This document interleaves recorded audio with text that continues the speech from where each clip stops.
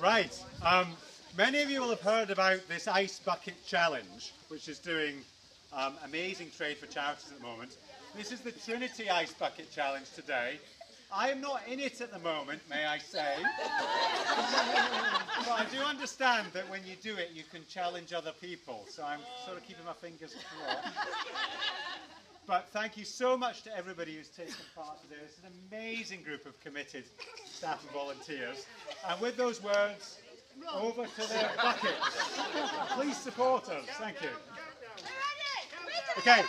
Ten, nine, eight, seven, six, five, four, three, two, one.